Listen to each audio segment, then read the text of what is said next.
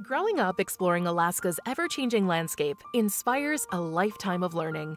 That's why Alaska 529 is a proud sponsor of the Alaska Sea Life Center and focused on helping families take small steps now for their child's future education.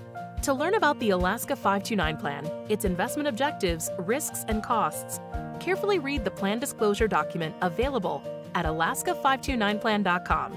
Alaska 529. Save in Alaska, study anywhere. Everyone gather round, it's a time of day for Virtual Small Fry School. We can hardly wait. Meet new ocean friends, connect with old pals too. Let's learn about the sea, there's so much to do.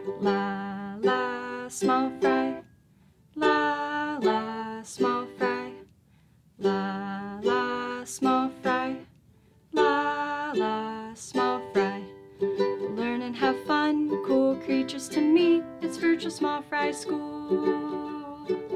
Go ahead and grab a seat. Hello, and welcome to another episode of Small Fry School. I'm Shauna, and I'm so excited to be here again with you today. You can see us every Tuesday at 11 a.m. Alaska time. If you have any questions today, be sure to text them to the number in the description below. As you can see, I'm wearing a mask today just to be extra safe. I'd also like to take a moment to acknowledge that I live and work on the land of the Alutiiq Sugpiaq people and that their rich heritage continues to enrich our community. So last week, we talked about sea urchins. And we talked about how they have special body parts that help them to exist in their habitat. So they have spines for protection, they have a mouth, and you can see their teeth right there. And then they have tube feet, which they use to help get food to their mouth and also for walking. And sea urchins give really good hugs. We also made sea urchins out of some Play-Doh and toothpicks, and we want to thank you so much for sending in the photos and sharing your great creations with us.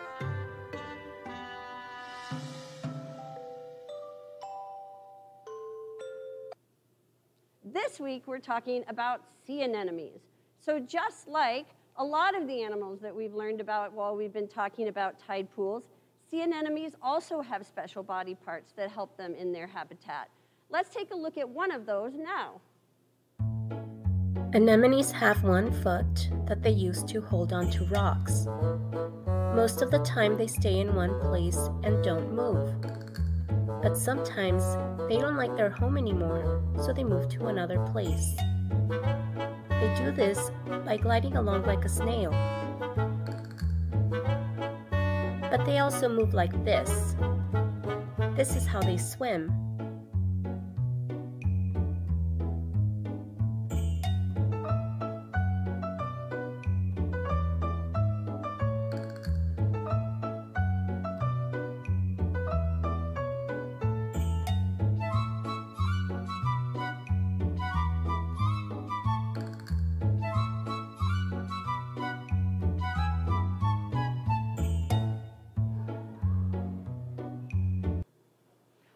It's so amazing how they use their whole bodies to swim.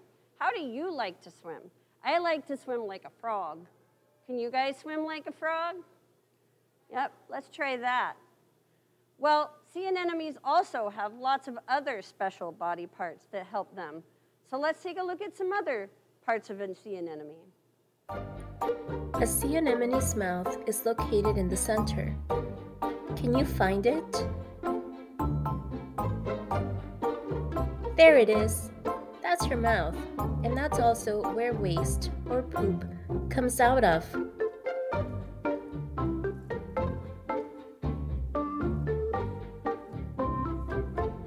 She has so many tentacles to catch food. Her tentacles sting her prey.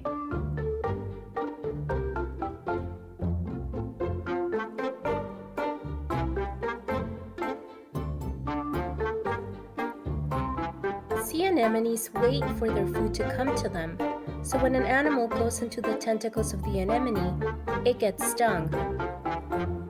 This sea anemone has found a yummy snack.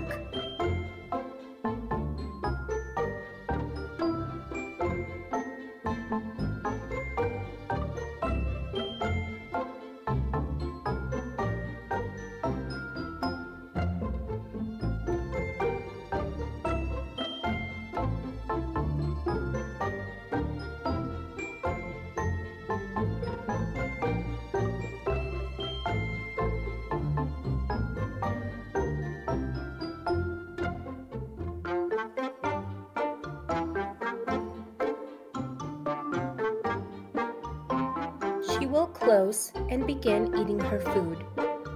Just like this.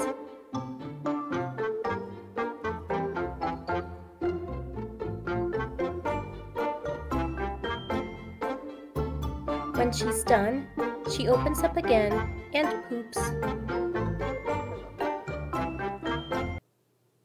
Sea anemones are so awesome. It's amazing how they use their tentacles to help them eat as well as for protection.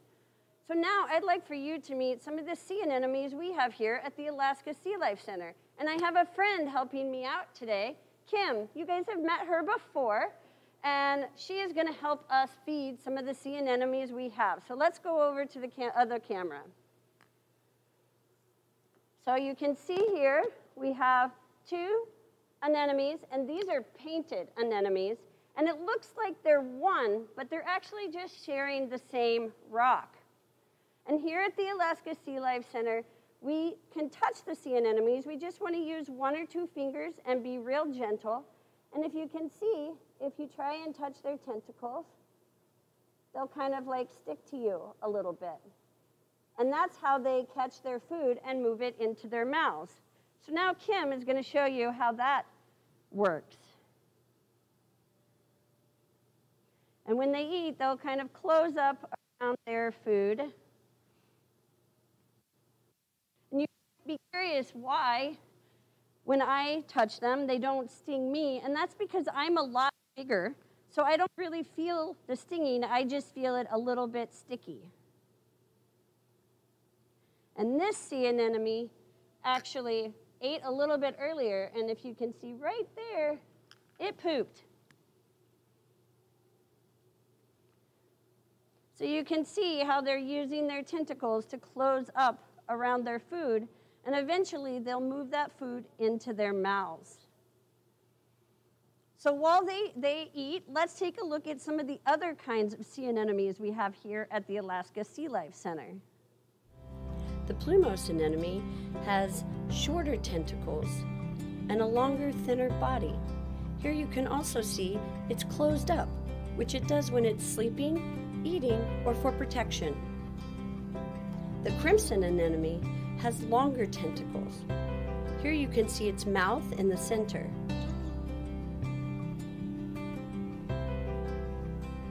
All anemones close up when they're eating. Here you can see it actually has food. The burrowing anemone has a long body that stays most of the time under the sand or the rocks, and its tentacles are bioluminescent. Right, so here we are. We're back with our painted anemones, and you can see how this one here is starting to kind of close up a little bit. But we're going to give them some time to enjoy the rest of their meal. I want to thank Kim so much for helping us out today. And we're going to move on to our next activity, and you're going to need some friends and a little bit of space. But before we leave, do these sea anemones remind you of any other creature? They remind me of jellyfish.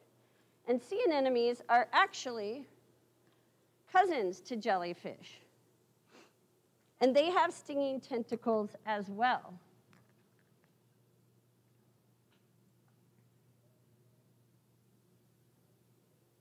All right, are you ready to, to do some stretching and some activities? You're going to need a friend and a lot of space.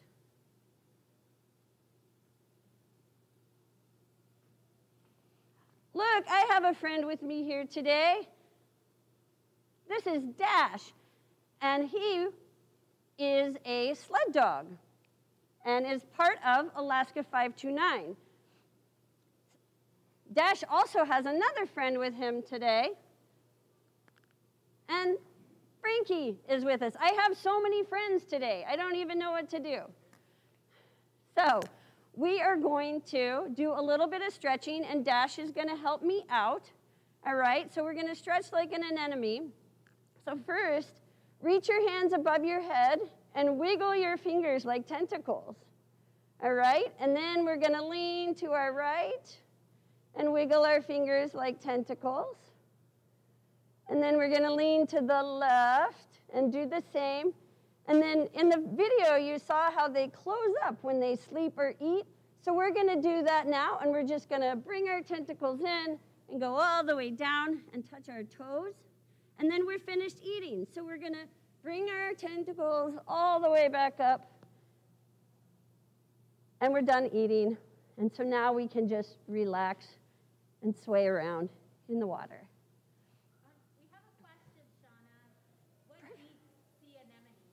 Um, so sea anemones do have some predators, um, and their predators are immune to their stinging. So they are starfish can eat them, as well as flatfish and other kinds of fish as well.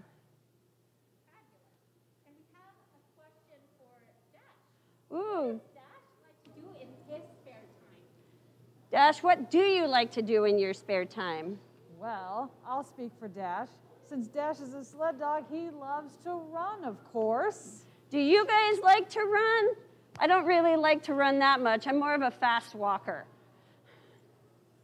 Um, we have another question for Dash. What does Dash like about the Sea Life Center? Dash, what is your favorite part about the Sea Life Center? Dash loves the small animals that other people might not see and, and creatures that don't even look like they're animals. Those are my favorite too. So Dash was really lucky and found a tube worm while he was here. And you can take a look at what we found there. And if you'll notice, when you go to touch them, they shrink back inside as a form of protection.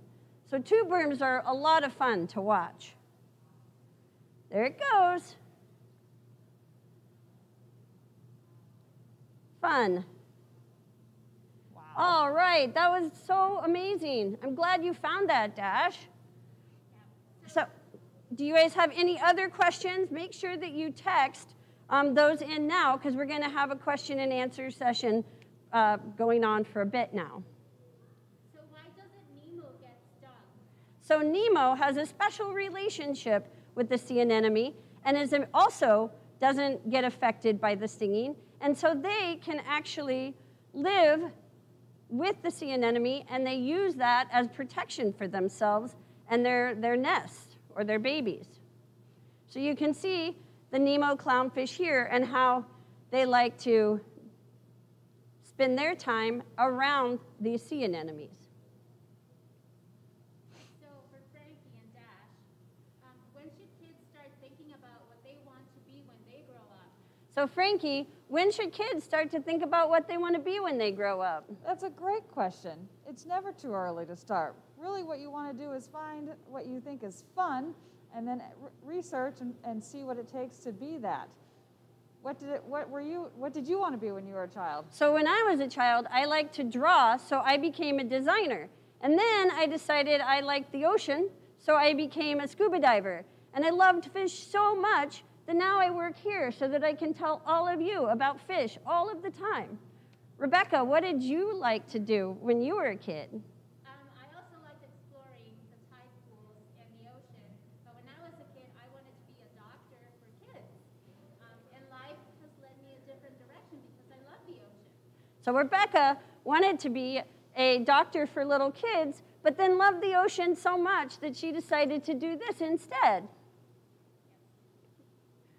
Um, can we touch the, the anemones in the tide pools?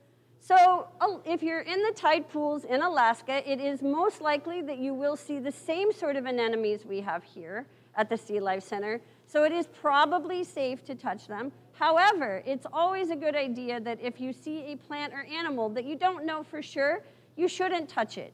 If you do decide to touch one, just make sure that afterwards you wash your hands very well with soap and water to make sure that you don't have anything um, left behind that might be harmful to you. Yeah. And I have a question for Frankie. Frankie, what do you like most about the Sea Life Center? Oh, I love everything about the Sea Life Center. I, I don't know that I can just pick one, but if I had to, I probably would pick the sea lion because it reminds me of my dog. It's true. They do look a lot like your dog. My dog is really fat, so it looks more like a seal than a sea lion. Um, but yeah, they're my favorite too. Um, we actually have a question. Okay. Why do they poop out of their mouth? right? That's a little bit strange, but every creature has a different way of functioning properly, and for them to be streamlined and efficient, they use their mouths to take in food, and then it's easier for them to just get rid of the waste through the same way. Um, and then another question. Do other fish have the same relationship with the anemones as the clownfish? That I am not 100% sure, but I don't believe so. Um, the clownfish is really the only one that I've ever seen, and it is a very um, unique relationship. But it's fun because if you can find an anemone, you can usually find a clownfish.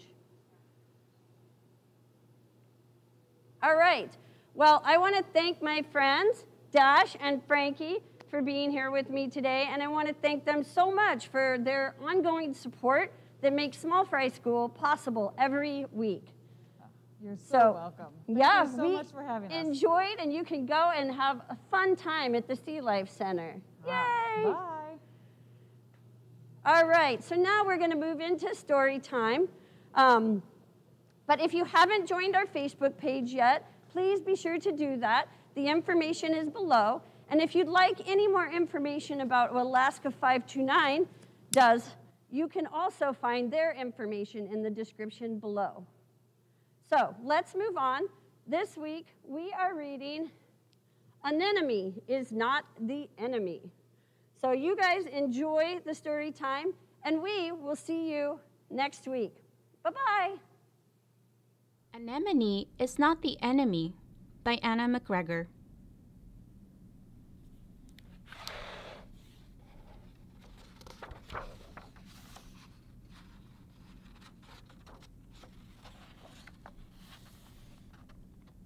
I'm so lonely.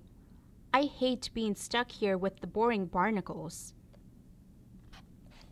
I thought I was fun.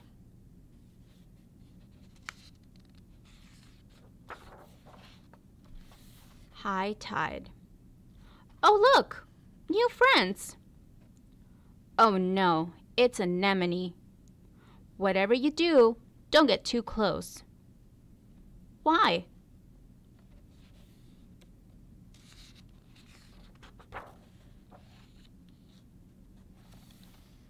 Hi, guys! What's happening out there? Don't ask. This shell's taken, buddy.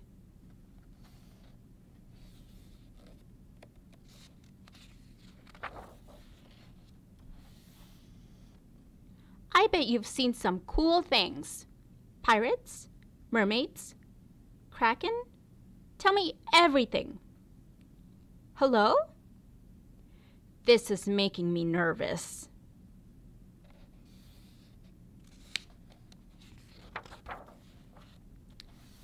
Low tide. Uh oh.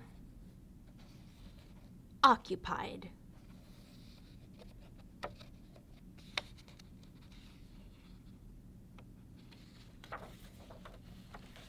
Sting!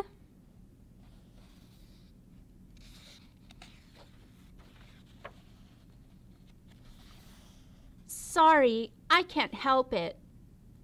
As soon as the tide comes in, we're out of here.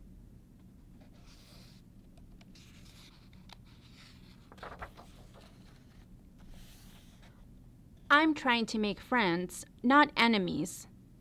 So why do I always sting everyone? I did it to the seahorse.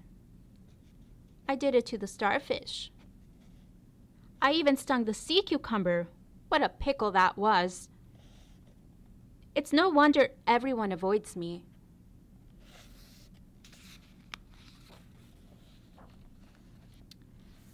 High tide. I'd rather take my chances out there. Good luck, Clowny. Look away. I'm naked.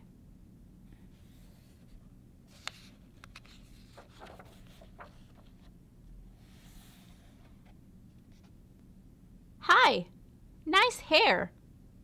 Not hair, but thanks. This rock pool is great. It is? At last, my dream home.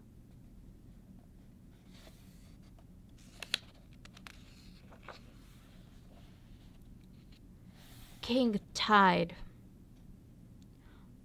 Uh oh. Anemone, I'm coming in, but I'll. Here comes the octopus.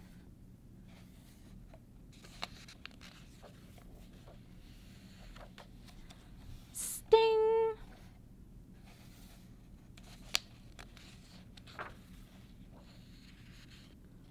Wow, I didn't sting you. We're good together. Oh boy.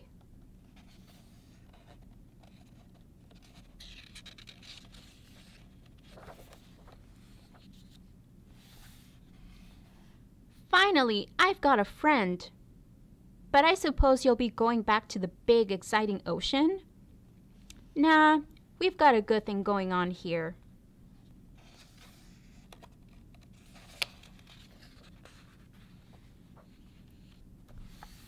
The ocean. Believe me.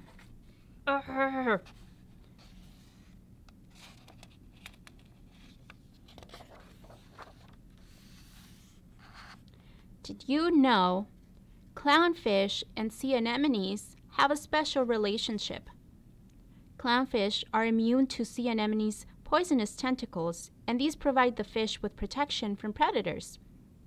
In return, clownfish clean sea anemones by eating algae and other food scraps off them. The scientific name for two species helping one another is symbiosis. Hermit crabs don't grow their own protective shells like other crabs. Instead, they must use a discarded sea snail shell for protection from predators. As a hermit crab's body grows, it must upgrade to a larger shell. Tides are the rise and fall of oceans, caused mainly by the moon's gravitational pull on Earth.